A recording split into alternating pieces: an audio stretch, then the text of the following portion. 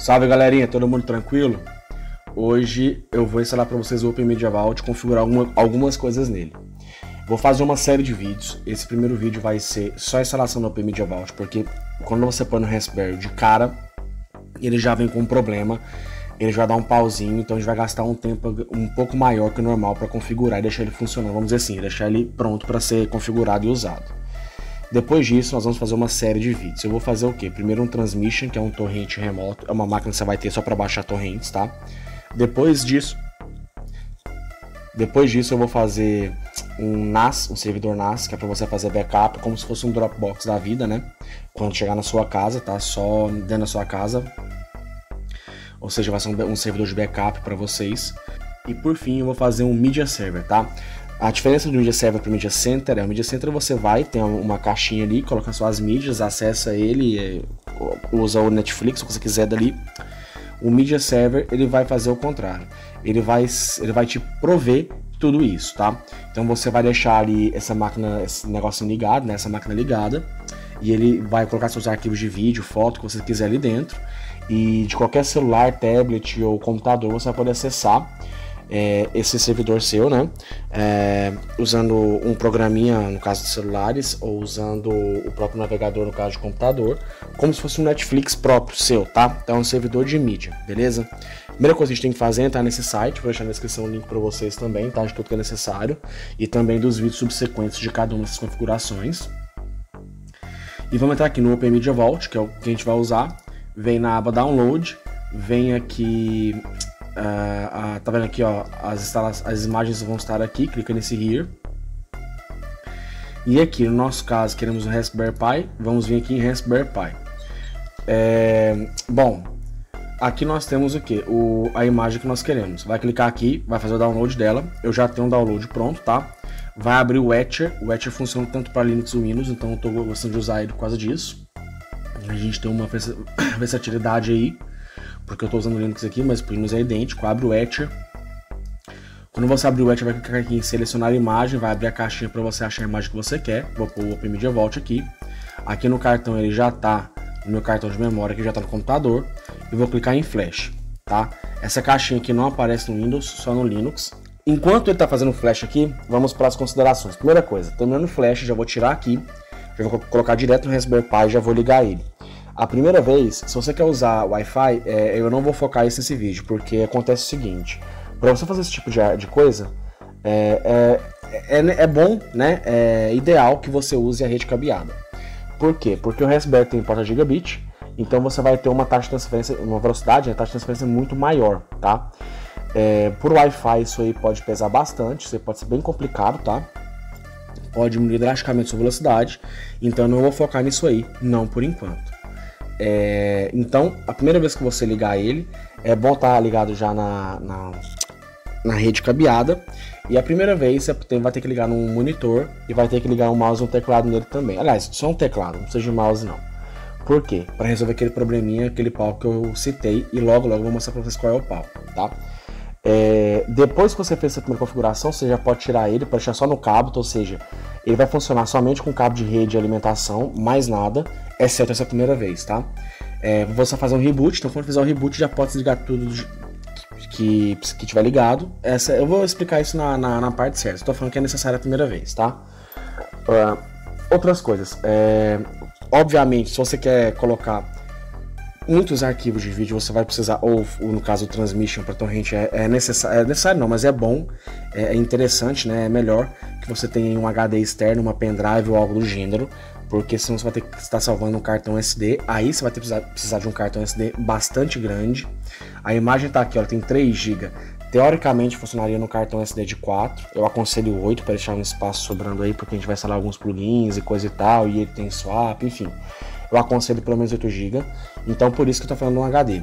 É, porque senão você ter que pôr um cartão SD muito grande. E eu não acho tão interessante esse, esse, esse setup aí não. Com relação à leitura do, do cartão SD ou do HD ou da pendrive, vai ser a mesma velocidade, não, vai, não acho que vai mudar muita coisa estar tá no cartão ou estar tá no USB 2.0, mas é o que a gente tem para trabalhar dentro do Raspberry Pi hoje, tá?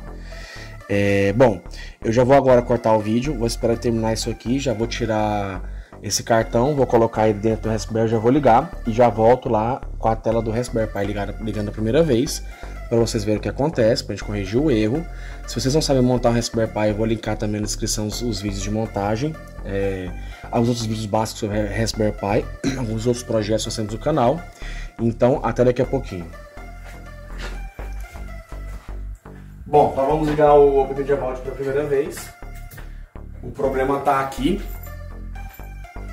Pra gente poder resolver, a primeira vez rapidinho, tá? A primeira mensagem mostrou ali que já deu um fail, de segunda também, mas isso aí não é importante. Vocês podem deixar passar tranquilo.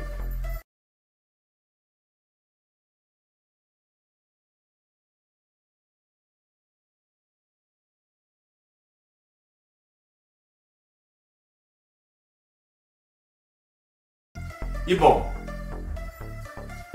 agora pessoal, a gente tem que fazer o login, tá? A... O que foi com o meu teclado? Ah, sim. Para falar a verdade, espera mais um pouco.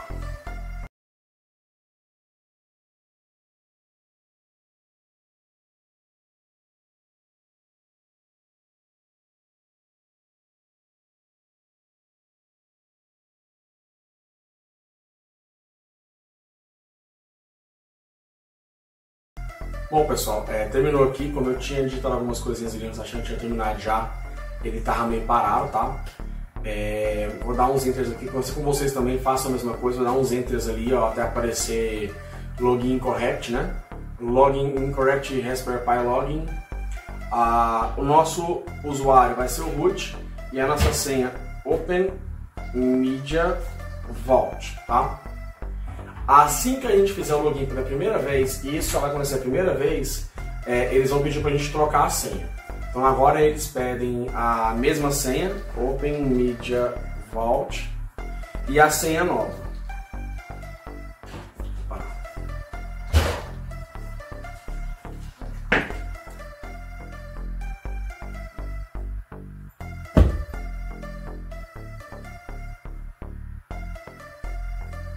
Pode acontecer ele reiniciar sim, viu pessoal? É, eu não sei por que iniciou, não deveria tanto, mas o que eles dizem é o seguinte: é, foi bom ter acontecido isso desse jeito, para vocês verem, não vou cortar na edição, porque é o seguinte: agora sim deu certo. A primeira vez que ele tá, que ele tá ligando, ele está se instalando ainda, tá? E eu tinha me esquecido disso aí, eu comecei a gravar achando que ia dar tudo certo e, e tal. Então o que acontece? É, espera ele reiniciar, como vocês viram, como vocês viram aí, e agora sim, que reiniciou a primeira vez, porque agora vocês podem ver aí, ó, que mostrou um IP, mostrou uma introduçãozinha diferenciada, né? Isso é do Media Vault. Isso é, essa parte teoricamente está certo. Mas vamos lá, login de novo, tá pedindo login ali, vou pôr root, ah, o password Open Media Vault e vai pedir de novo ele para poder trocar essa, essa senha. E agora a senha nova que nós queremos.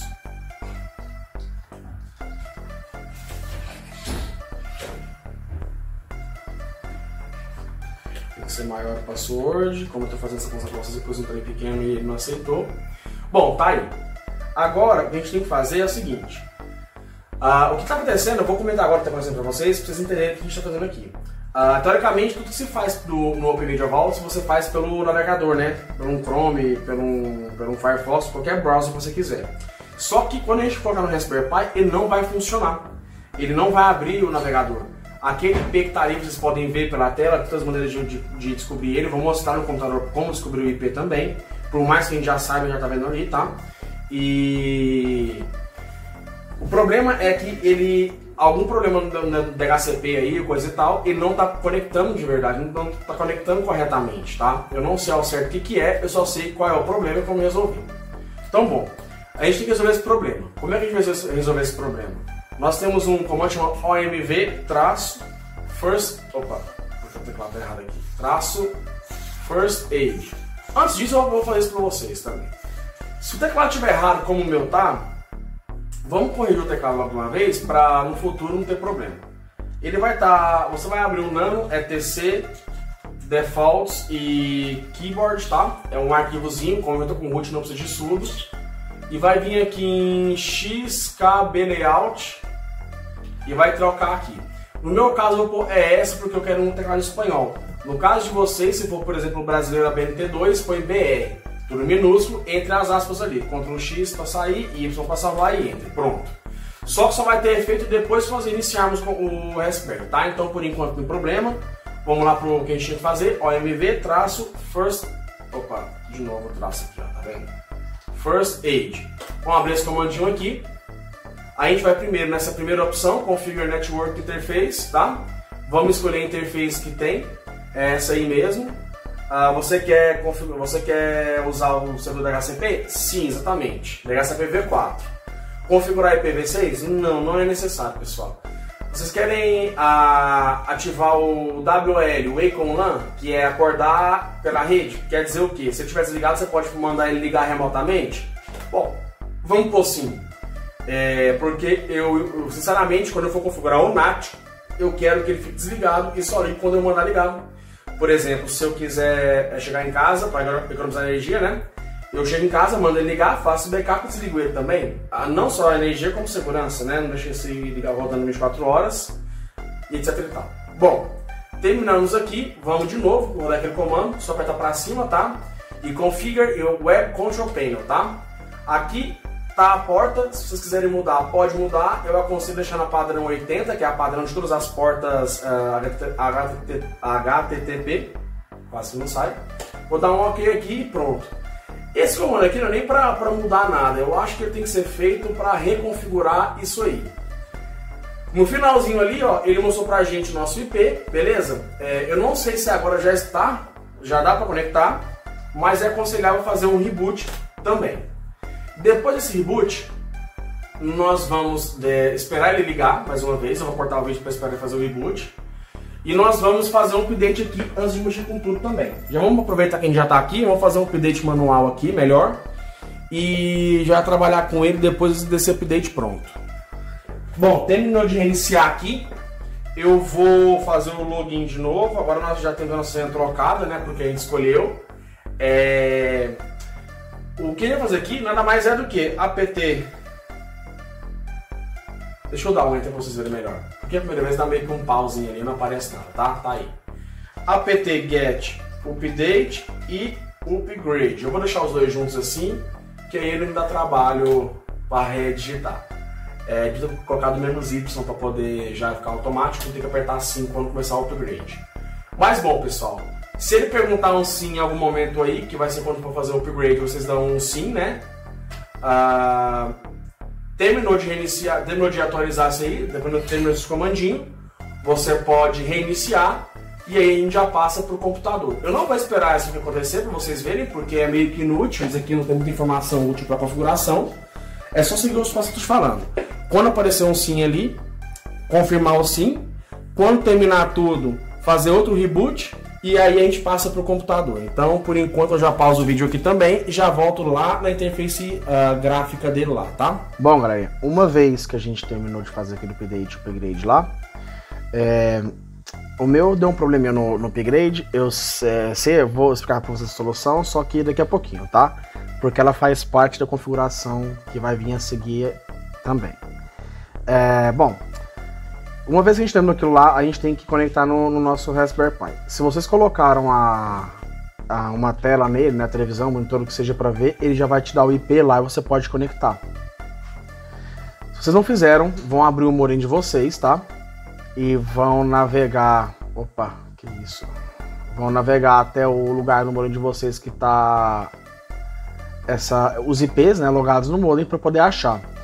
Como uh, cada IP é diferente, é complicado eu dizer para vocês como é que vai fazer em cada IP. Vocês têm que procurar isso aí sobre o seu próprio fabricante, tá? Uh, mas uma vez que você fez isso, você achou, ele tá aqui, ó. No meu, no caso, no meu caso tá aqui, 9268140, tá? Raspberry Pi tá aqui, tá no cabo, tá? O meu modem mostra assim. Mas enfim, bom. É... Agora a gente sabe IP, a gente vai pegar e vai abrir aqui o, uma outra página e vai digitar aquele IP, 9268.140, tá ali. Aqui dentro, é, vamos o nosso idioma, né? Se tiver, se tiver português. Beleza. Uh, o usuário é admin e a senha é Open Media Vault também, tá? É, vamos dar um enter para logar aqui a primeira vez e vamos começar a configurar. Lembrando, a senha de root que nós trocamos ali agora há pouco é uma coisa, a senha disso aqui da GUI é outra, tá? GUI, né? É outra coisa, tá? Então vamos lá. Primeira coisa, data e hora. Uh, nós vamos vir aqui, vamos acertar aqui a nossa data e hora, tá? É... Deixa eu achar a minha aqui. Vocês vão procurar de vocês, tá? Então vocês têm que procurar de vocês aí. É... No caso, eu não sei onde é que vai estar, tá, como é que vai estar tá aqui. Pacífico, bom, enfim. É... Tá, a confusão pode ter sido feita isso aqui de uma maneira melhor, mas enfim. Vamos ver se, por exemplo. Opa! Estão Madrid da vida aqui. Cadê?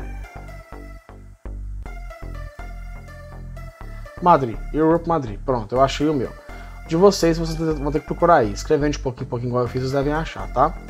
É, fiz isso aqui, coloquei o meu, o meu o meu servidor, ou vocês podem pôr manual também e setar manualmente aqui.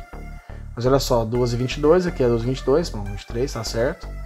Uh, a data aqui também tá certa, hoje é dia 14 de junho de 2019, 14 de junho de 2019, tá certinho aí.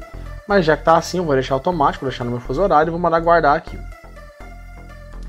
Feito isso, segunda, uh, segunda coisa, vamos aplicar. Sim, ele demora um pouquinho. Toda vez que a gente aplicar vai demorar um pouquinho. Vamos ver aqui em definições gerais. Vamos vir aqui em senha administrador web, tá? Vamos trocar essa senha também. A gente tem que trocar ela por questão de segurança.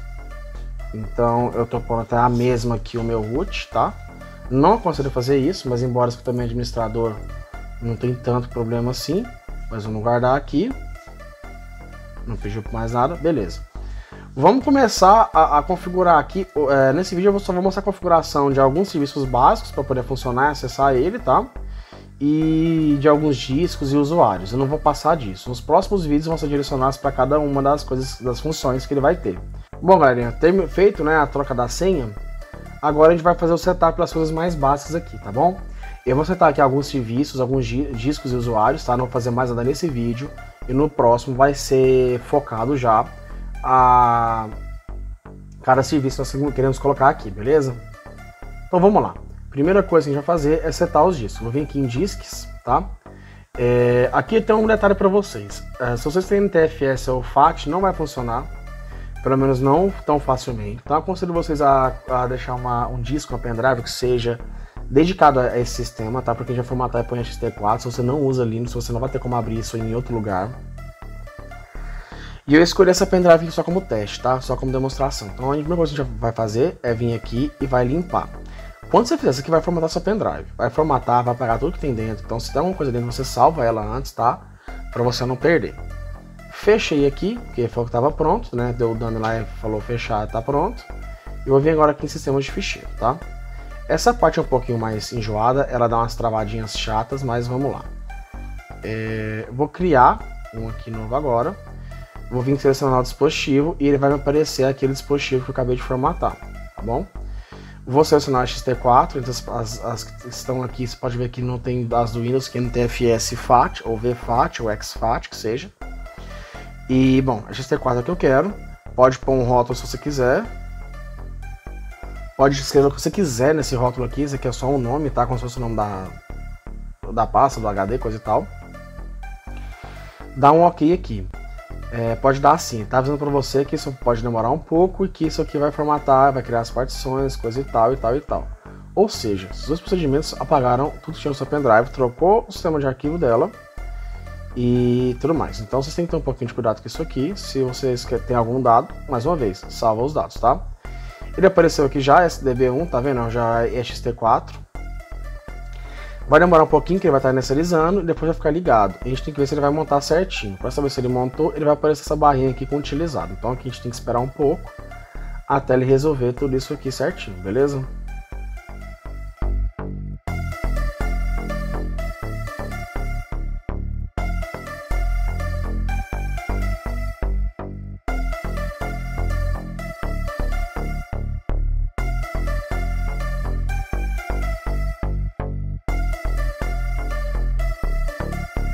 Terminou aqui, pessoal, ele não vai montar automaticamente, como eu falei aqui, né? Mas está com a hora aqui ligado, beleza? Então eu vou clicar nessa partição, vou clicar aqui em montar.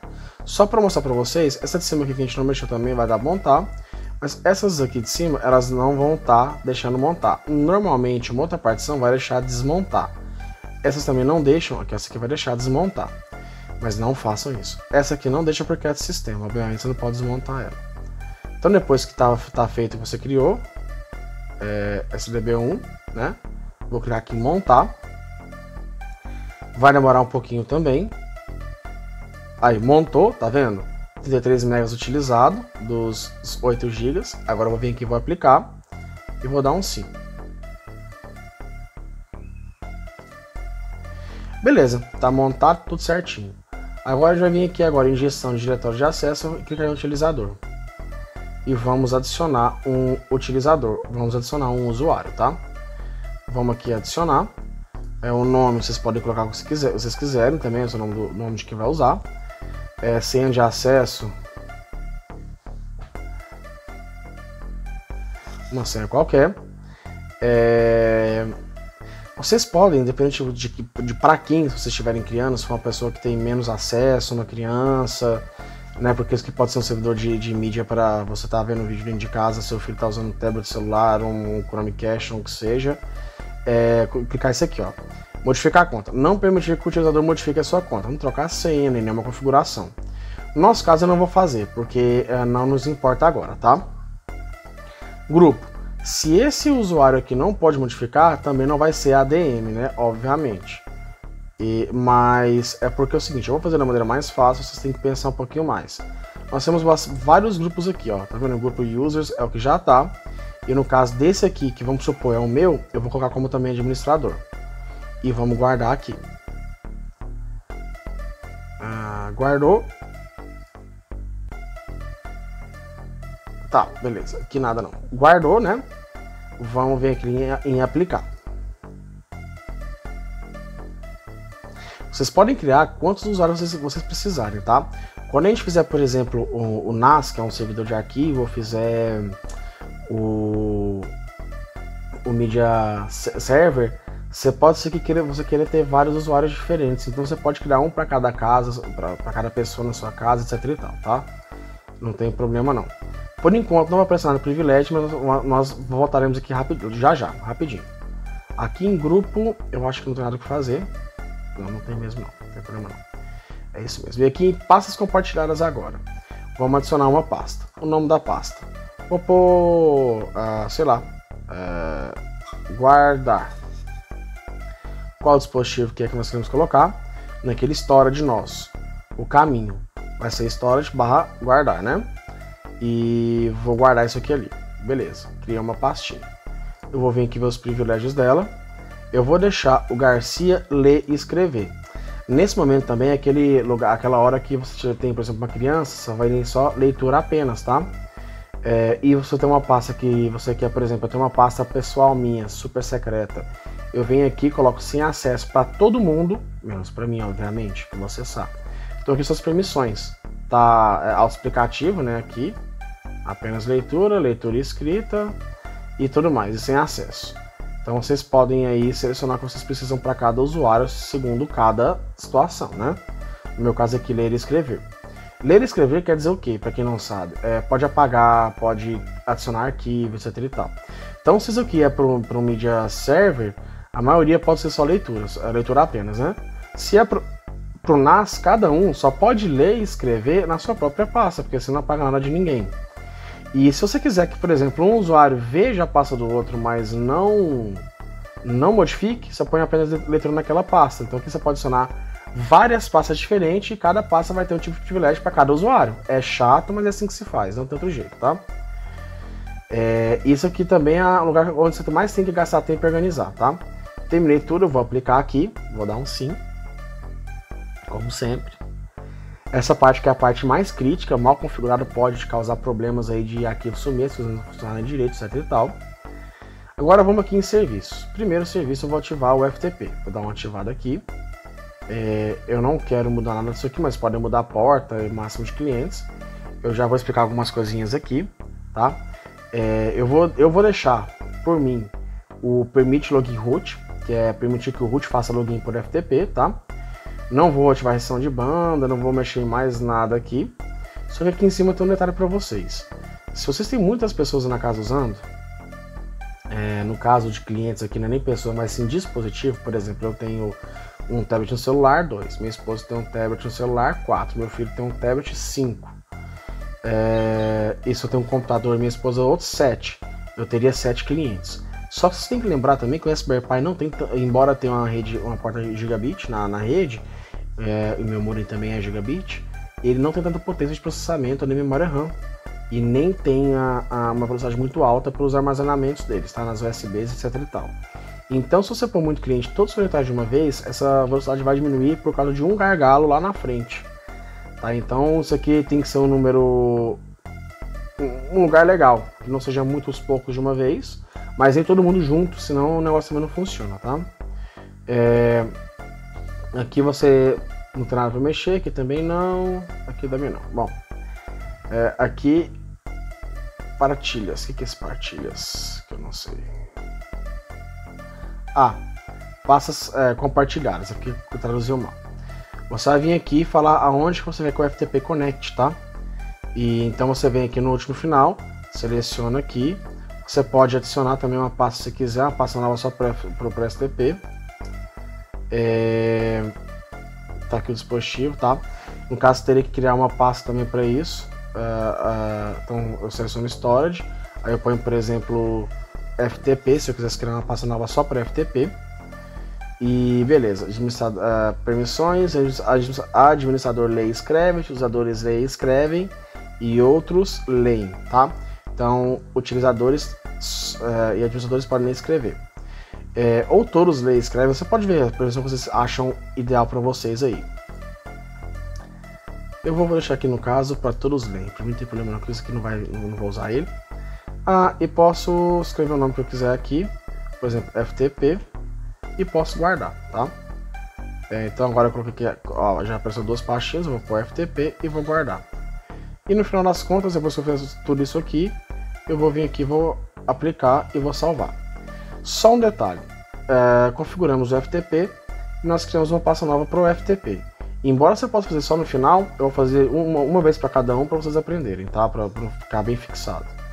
Se eu criar uma pasta nova, eu quero vir aqui em privilégio. Tá vendo FTP? Eu também quero leitura escrita para o meu usuário. Se eu quiser para algum outro, para algum outro, algum outro eu vou dando aqui também. Mas o meu usuário também quero a leitura escrita para esse Garcia, né? Não só da pasta guardar, que seria um NAS, mas um FTP também. Então vou vir aqui guardar. É, agora vamos vir aqui SMB, que é Samba, tá? Isso aqui é para o Windows acessar nós vamos ativar também é, Workgroup, é, o grupo certo.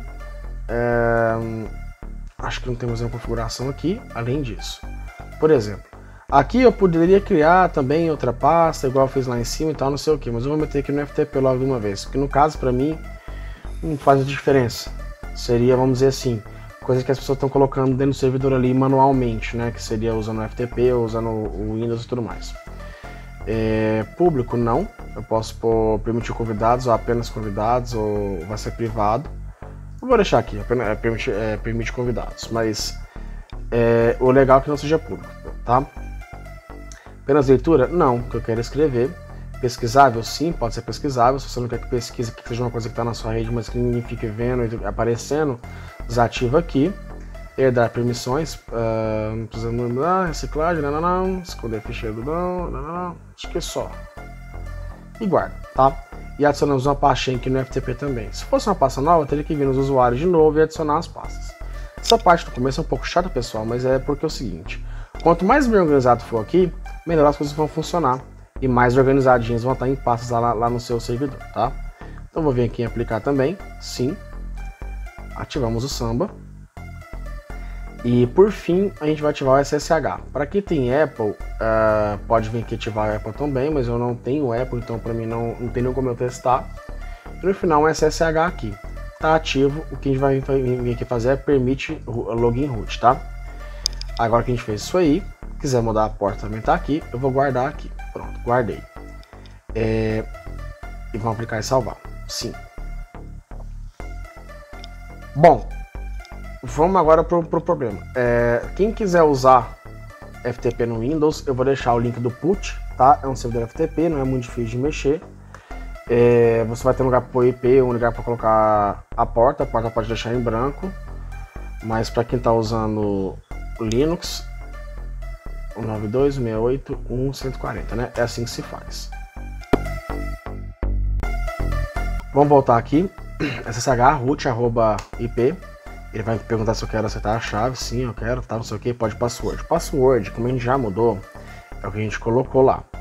Mas para quem ainda não mudou, é Open Media Vault, tá? Entrei aqui. E lembra quando a gente deu o sudo. Opa, não precisa de sudo aqui não. apt get update, ele deu certo. A gente foi dar upgrade, ele deu certo, mas o problema é em alguns pacotes, né? Eu vou mostrar pra vocês a solução agora. A questão tinha uma chave lá do repositório que estava errada, tá? Então vocês vão usar esse comando aqui. Eu vou pôr na descrição para vocês. Opa, copiei o comando copiei errado.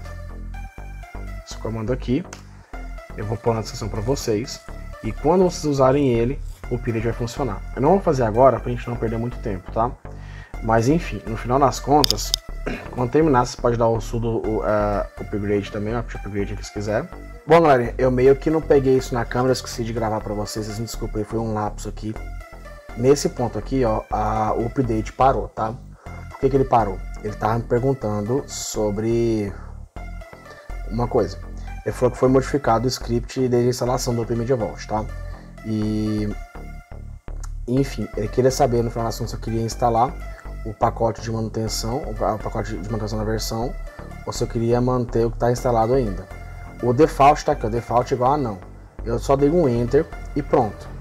E aí ele me disse, depois em algum outro, vai aparecer uma telinha azul, a gente dá um ok ele me disse para usar esse comando aqui, tá? Então eu vou aqui dar esse comando. Isso pode ser feito, pessoal, tanto por SSH, como eu mostrei para vocês, ou pelo próprio com teclado na própria, no próprio monitor, tá? Isso não tem muita diferença.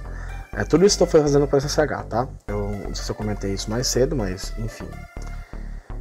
É, então a gente aqui usou aquele comandinho da chave lá, né? Aqui o, esse aqui. E depois deu o upgrade que tinha que dar o upgrade. E aí, bom, aconteceu isso tudo. Eu, eu acho que eu não peguei o upgrade também na, em tela, mas é porque isso é uma coisa que a gente já tinha feito antes, né? Só ficou dois pacotes sem instalar. Porque, bom, a gente já tinha feito antes e já sabem como é que faz. Então, se vocês conseguirem SSH, usa aquele, aquela chave da upgrade.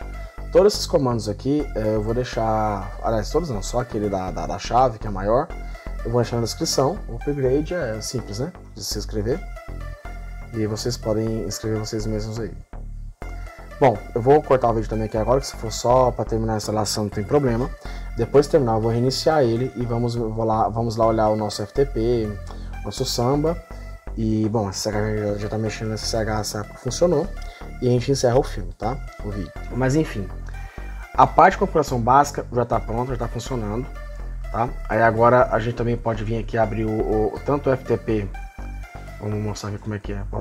Baixando o FileZilla que também funciona para Windows e é idêntico. Opa, 1.1.140. Nosso usuário lá que a gente criou. E nossa senha. Bom, galera, reiniciei aqui, tá? É, eu deixei aqui na parada na última tela que a gente estava mexendo, que era CCH. Só uma dica aqui, eu não, eu não lembro como é que foi que, que eu fiz. Se eu cheguei a fazer tudo certo, é o seguinte, depois que ativar aqui e guardar, ele vai demorar uns alguns segundinhos, vai aparecer, por exemplo, deixa eu ver aqui, por exemplo, NFS. Eu vou ativar e vou guardar. Ele vai aparecer isso aqui, ó. Se você não clicar em aplicar, ele não vai, ele não vai salvar, tá? Então você não, eu não me lembro se eu fiz lá, mas tem que clicar em aplicar depois que você ativa o FTP, depois você ativa o Samba, depois você ativa o SSH, tá? Os três. Aí depois disso pode vir aqui, ó, em dashboard, né? Em diagnóstico dashboard para ver. Aqui você vai te, vai te mostrar quais são os serviços que estão ativos executando, tá? Então, por exemplo,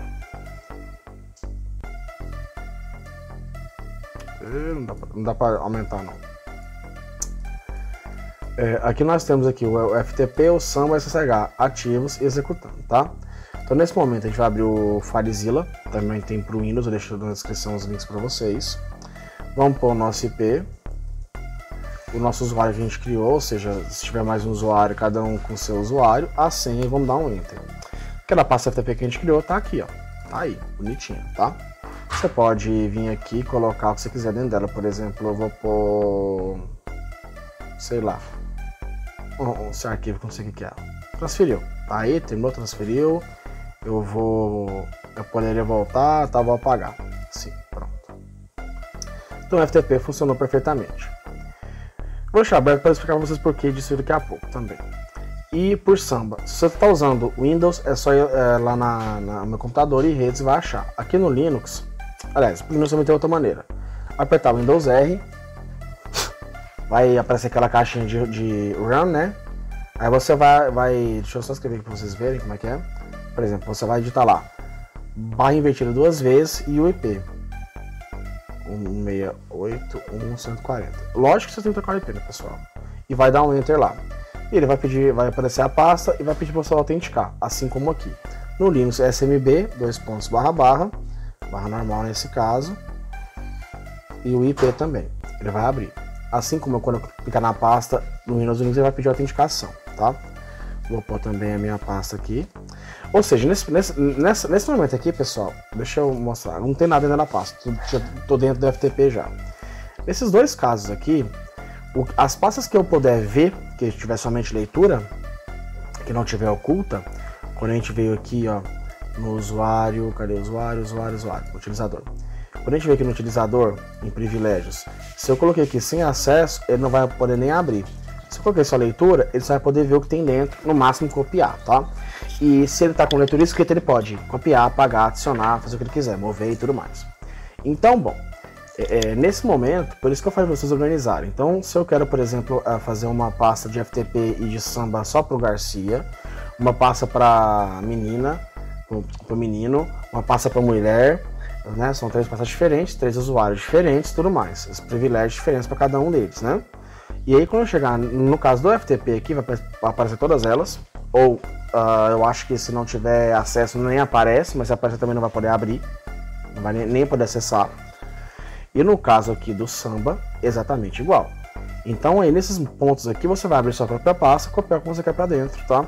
Tem FTP para celular também, ah, então vocês podem ficar tranquilos. Eu acho que o FTP é uma opção muito melhor sobre o Samba por no seguinte sentido. O FTP do Linux, do Windows e do celular, você pode baixar um programinha de FTP e usar perfeitamente bem. O Windows e o Linux, inclusive, pode usar o próprio FileZilla para os dois. Pro celular, pro Android eu não tenho certeza se existe FileZilla, mas eu imagino que sim, tá?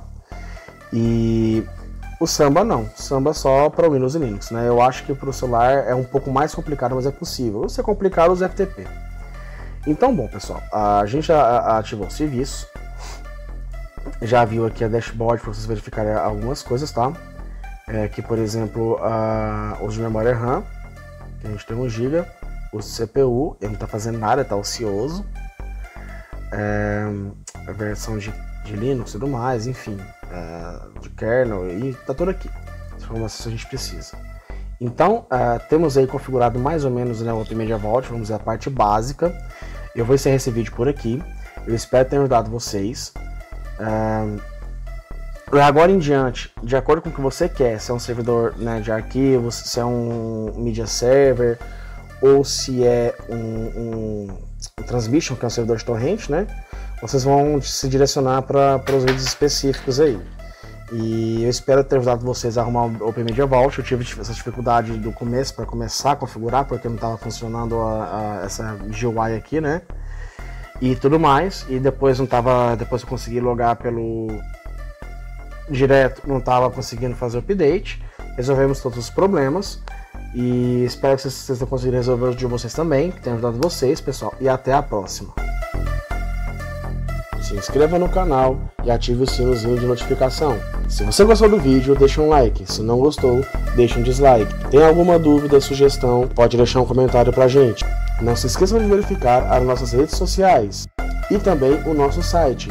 Temos todos os conteúdos disponibilizados em PDF para download.